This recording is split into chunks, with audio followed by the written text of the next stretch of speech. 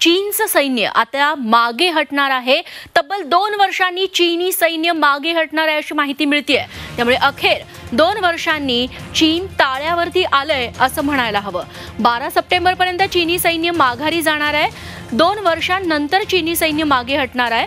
भारतीय परराष्ट्र मंत्रालयाने दिलेल्या माहितीनुसार एल वर शांतता प्रस्थापित करण्यासाठी दोन्ही बाजूंनी पुढाकार घेण्यात आलाय.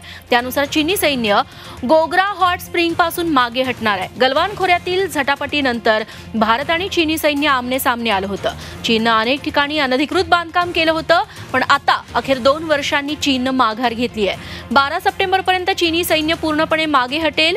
Gogra hot spring patrolling point पंधरा पासून भारत आणि चीन सैन्य मागे हटायला सुरुवात झाली आहे. गुरुवारपासून दोन्ही बाजूचं सैन्य मागे हटणार आहे. पूर्व लडाखमध्ये त्यामुळे भारत चीन संघर्ष आता निवळण्याची संपण्याची चिन्ह आहेत.